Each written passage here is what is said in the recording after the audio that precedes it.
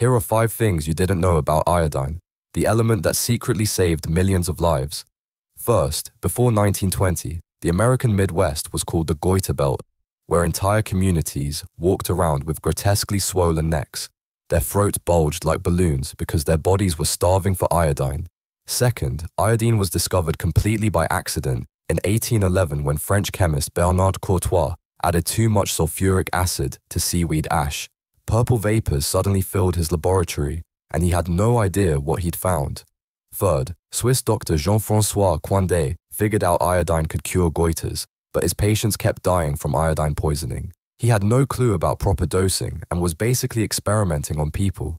Fourth, in 1924, the US government secretly started adding iodine to salt without telling anyone. Goiter rates dropped by 90% within 10 years. Fifth, iodine deficiency is still the world's leading cause of preventable mental disability. Two billion people today don't have access to iodized salt. A simple addition to table salt prevents both physical deformity and brain damage.